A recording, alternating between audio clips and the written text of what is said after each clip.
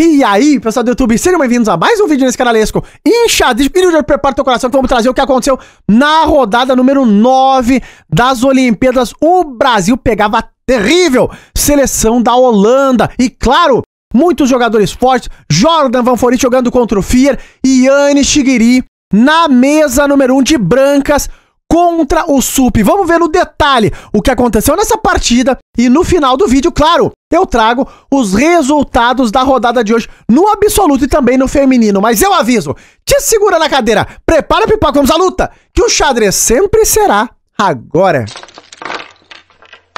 Então, pessoal, aqui estamos nós. E de brancas, Anne Shigiri contra a locomotiva do Brasil. O Guiri nessa partida colocou lá o xadrez posicional uma rete. Agora, sabe que os dois jogadores, eles vão fazer um desenvolvimento rápido pelos flancos do rei, olha lá, tudo simétrico, passa o cavalo, o bispo, o rock, tudo normal e o guiri, pá, começa a luta pelo centro. Tudo jogado ao toque. Aqui, o Sup jogou o lance mais jogado, que é o lance D6. A ideia é controlar a casa de E5 e os dois jogadores vão botando as peças em jogo. Olha lá, C4 ganha espaço. Agora C6 é a ideia do Sup. Passou o cavalo aqui, o Guiri. O Sup mandou o bispo pro jogo e bispo em E3, que é um dos lances mais jogados nessa posição para as brancas. Um lance curioso, porque tu fica à mercê, olha lá, dos saltos do cavalo. Vejam que nesse momento o Sup jogou o lance torre E8, que é também um lance fino aqui. Rafael Cabalá.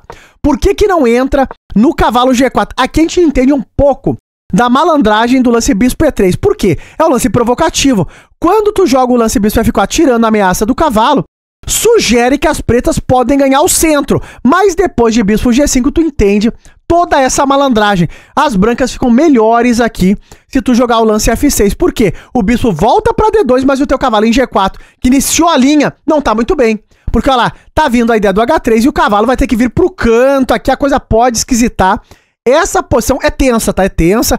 Claro, tem que aprofundar bem a análise aqui, mas não é uma linha boa para as pretas. O Sup não entrou nisso, fugiu disso, ele jogou lance torre E8, agora preparando a ideia do E5 no momento certo, e o Guiri passa a torre pro jogo, passa a dama pro jogo aqui o Sup, e agora a dama B3 tá lá, o Guiri começa a incomodar, perturbar um pouco esse peão de B7. Bom, o Sup fez o que vinha planejando. Pá! E5 e vamos, meu Brasil! Veio essa troca aqui no centro, a posição é tensa, o Guiri ganha um tempo em cima da dama com torre D1, dama em E7 natural. E agora H3, olha lá, o Guiri, é claro, se incomoda nesse momento com o salto de cavalo G4, que na linha que a gente viu antes não era tão bom, mas aqui começa a ser, olha lá, porque tu não consegue entrar naquela mesma compensação que a gente tinha visto. O bispo realmente tá meio mal aqui na casa de E3, embora apontando nesse momento aqui pro peão de A7. Então tu não pode deixar cavalo G4 chegar. O Guiri não deixou.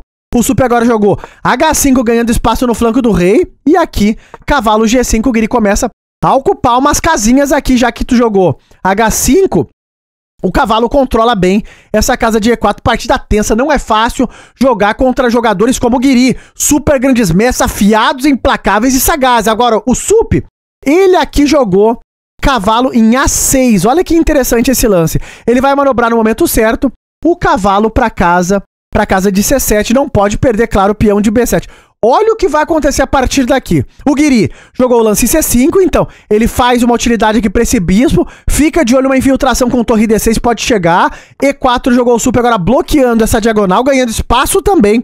E aqui o Guiri plantou a torre em D6 e a partida começa a pegar temperatura. Olha como os dois jogadores estavam controlando ali bem o tempo. E esse é um momento muito importante do jogo, porque o Sup aqui jogou o lance torre de A B8 e a complexidade da partida começa a aumentar agora, a partir desse momento. Porque olha que loucura é o xadrez. O lance da máquina pro Sup aqui é um lance muito difícil. Cavalo C7 com uma compensação não muito clara. Vejam lá, essa aqui seria uma das melhores alternativas para o Sup nesse momento, largando o peão de B7 com a ideia de passar o cavalo para descer. O pior de tudo não é isso. É que nessa linha da máquina, depois da troca, o Sup sacrifica um peão com a ideia de trocar as damas. Só que nessa posição tu consegue perceber, depois de tudo isso, não é fácil, né? Que as pretas têm uma certa é, compensação, olha lá, porque eu tô tocando em B2, posso recuperar o peão e tô ameaçando também em F6. E de repente, o cavalo de G5 ele tá sem casas. Então, esse é um dos temas aqui. Agora, o Sup acabou não jogando essa linha aqui, que é muito complicada. Ele jogou o lance torre de AB8 e a posição começa a ficar um pouco mais complicada, como a gente vai ver. Porque nesse momento, o Guiri, ele dobrou agora as torres na coluna D. Ainda parece super equilibrado, porque o Sup joga o lance cavalo C7, só que ele não tinha esse tempo. Então tudo isso é muito complicado de ver, porque nessa posição o Guiri compreendeu em profundidade esse momento e jogou esse lance muito fino, difícil, complicado que é cavalo de G toma E4. Rafael, por que isso? Porque o Guiri ele percebe, é, claro, um tema tático. Percebem lá? Que é, ele vai desviar essas duas peças que controlam a entrada na sétima fila, porque um dia, se ele conseguir jogar a torre D7, ele toca a dama e toca o cavalo solto, recuperando o material. Isso aqui não é claro, tá? É super complicado, mas a linha é fina. O Sup, ele jogou lá, ele tomou esse cavalo, mantendo aí o controle aqui da sétima, só que agora o, o Guiri retoma, e aqui o Sup tomou de cavalo, fazendo todas as trocas em E4, e aqui vem o lance do Guiri, que justifica tudo isso, que é o lance Torre em D7, ainda cheio de refinamentos, porque ainda parece que eu posso ter essa ideia para defender o cavalo, só que isso não funciona, tanto é que o Sup jogou o único lance que ele poderia jogar, que é o lance dama E6, e a partida segue quente em brasas. Rafael, por que não jogar dama E5 para ficar com peça a mais? O problema desse é que as brancas estão invadindo aqui, e quando o rei vem pra H8, tu leva bispo D4 aqui, já era, vai tudo abaixo, fica completamente perdido de pretas. Então a linha que o Guiri jogou é coisa assustadora. É coisa assustadora, que não se vê todo dia. O Super nesse jogou dama E6 para manter a defesa em F7 e agora o Guiri é que ele toma em E4 de novo. A posição ainda não é fácil, tá para nenhum dos lados, porque nessa posição o número material é o mesmo.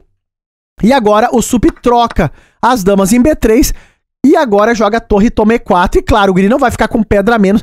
Observem que, desde aquela tomada de cavalo toma E4, Agora é que o Guiri consegue recuperar o material dele. E como esses jogadores tão fortes fazem, né? Além de recuperar o material, ele ainda tem uma vantagem posicional.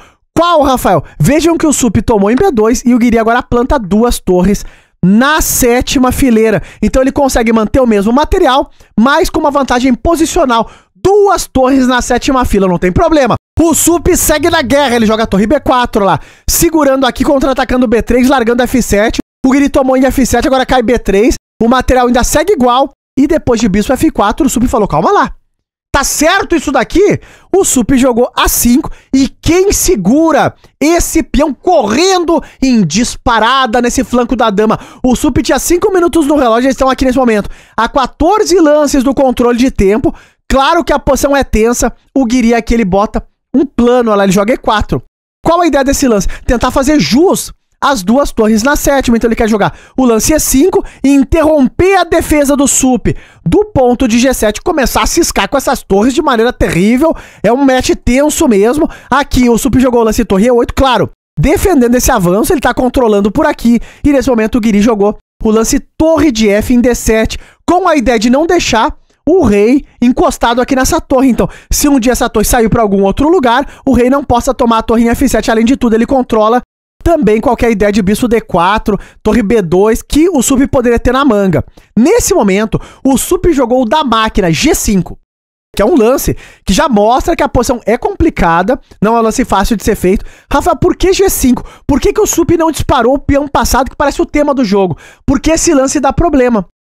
A ideia do Guiri é avançar, Olha lá, interrompendo o bispo do sup que controla G7 quando as torres começarem a entrar aqui.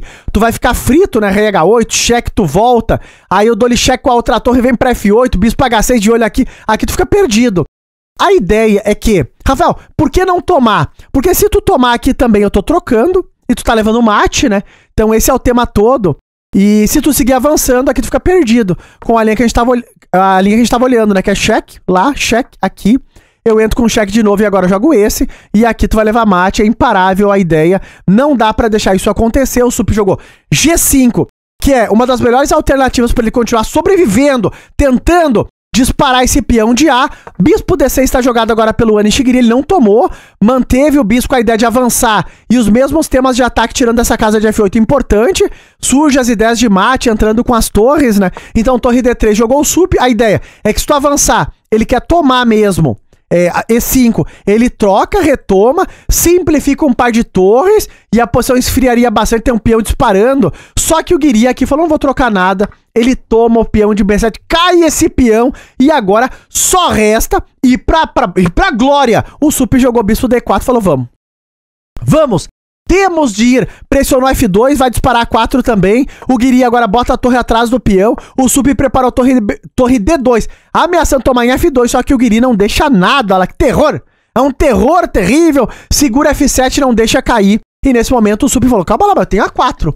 Eu tenho A4 aqui. Porque se tu tomar, tu perde a torre. O Guiri, nesse momento, ele falou: tudo bem, tem esse recurso, mas eu jogo Torre F5, olha lá, ameaçando tomar em A4, ameaçando tomar em G5 com cheque. O Sup sai do tema do cheque, sobrevivendo, botando é, pressão pra cima do tempo também do Guiri, embora o Sup tá com menos tempo no relógio, posição difícil. Aqui o Guirizinho jogou o lance. E5, olha lá. Ignorando essa tomada, ignorando essa também, mantendo o controle em F2, o Sup jogou torre C2, de olho em C5, só que agora o Guiri volta com a torre na sétima fila, e nesse momento não tem mais lance aqui pro nosso Brasil. O Sup aqui abandonou esta partida dramática contra o Gri na rodada nominal, porque não tem jeito aqui. Tu tá completamente perdido com duas torres na sétima. Rafael, por que, que o Sup não tomou em C5? Porque aqui tu consegue compreender o tema do mate, né? Tu leva cheque lá e mate, olha lá, porque tu não tem a casa de F8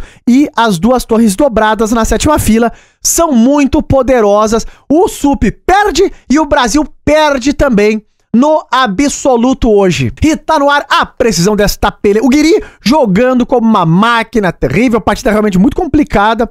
Jogou esse lance brilhante aí, o cavalo de G tome 4 e a partir dali a coisa realmente ficou muito difícil, não deu para segurar. Vejam no, no resultado. O Brasil acabou perdendo de 3,5 a meio.